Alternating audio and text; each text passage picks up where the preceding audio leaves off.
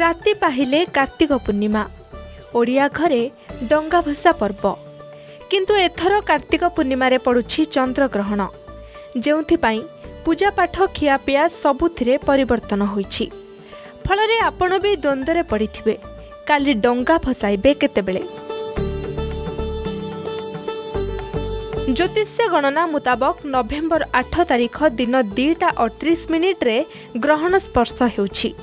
ଏଣୁ ଡଙ୍ଗା ଭସାଣ ପାଇଁ ସୋମବାର ରାତି ଦୁଇଟାରୁ ମଙ୍ଗଳବାର ସକାଳ ପାଞ୍ଚଟା ଅଠତିରିଶ ମିନିଟ୍ ପର୍ଯ୍ୟନ୍ତ ସମୟ ଧାର୍ଯ୍ୟ ହୋଇଛି।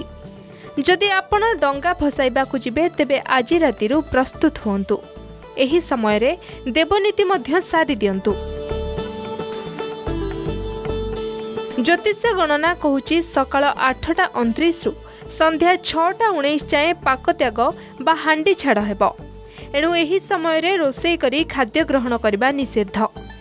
ଅନ୍ନ ଭୋଜନ ମଧ୍ୟ ନିଷିଦ୍ଧ। ଗ୍ରହଣର ମଧ୍ୟବର୍ତ୍ତୀ ସମୟ ହେଉଛି ସନ୍ଧ୍ୟା ପାଞ୍ଚଟା ଏଗାର ମିନିଟ୍। ଆକାଶରେ ଗ୍ରହଣ ଏହି ସମୟରେ ଦୃଶ୍ୟମାନ ହେବ।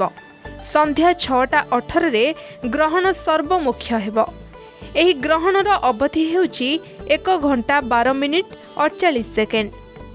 Bureau report Argus news.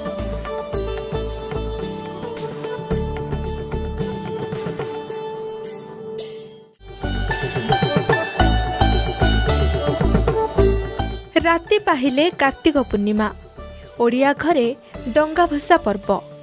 କିନ୍ତୁ ଏଥର କାର୍ତ୍ତିକ ପୂର୍ଣ୍ଣିମାରେ ପଡ଼ୁଛି ଚନ୍ଦ୍ରଗ୍ରହଣ। ଯେଉଁଥିପାଇଁ ପୂଜାପାଠ ଖିଆପିଆ ସବୁଥିରେ ପରିବର୍ତ୍ତନ ହୋଇଛି।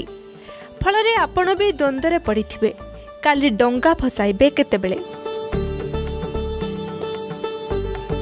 ଜ୍ୟୋତିଷ୍ୟ ଗଣନା ମୁତାବକ ନଭେମ୍ବର ଆଠ ତାରିଖ ଦିନ ଦୁଇଟା ଅଠତିରିଶ ମିନିଟ୍ରେ ଗ୍ରହଣ ସ୍ପର୍ଶ ହେଉଛି।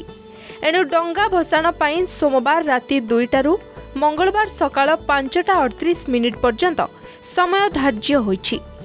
ଯଦି ଆପଣ ଡଙ୍ଗା ଭସାଇବାକୁ ଯିବେ ତେବେ ଆଜି ରାତିରୁ ପ୍ରସ୍ତୁତ ହୁଅନ୍ତୁ। ଏହି ସମୟରେ ଦେବନୀତି ମଧ୍ୟ ସାରି ଦିଅନ୍ତୁ।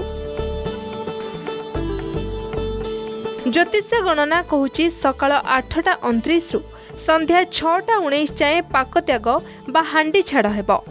ଏଣୁ ଏହି ସମୟରେ ରୋଷେଇ କରି ଖାଦ୍ୟ ଗ୍ରହଣ କରିବା ନିଷିଦ୍ଧ। ଅନ୍ନ ଭୋଜନ ମଧ୍ୟ ନିଷିଦ୍ଧ। ଗ୍ରହଣର ମଧ୍ୟବର୍ତ୍ତୀ ସମୟ ହେଉଛି ସନ୍ଧ୍ୟା ପାଞ୍ଚଟା ଏଗାର ମିନିଟ୍। ଆକାଶରେ ଗ୍ରହଣ ଏହି ସମୟରେ ଦୃଶ୍ୟମାନ ହେବ। ସନ୍ଧ୍ୟା ଛଅଟା ଅଠରରେ ଗ୍ରହଣ ସର୍ବମୁଖ୍ୟ ହେବ। ଏହି ଗ୍ରହଣର ଅବଧି ହେଉଛି ଏକ ଘଣ୍ଟା ବାର minute ଅଡ଼ଚାଳିଶ second. Bureau report Argus news.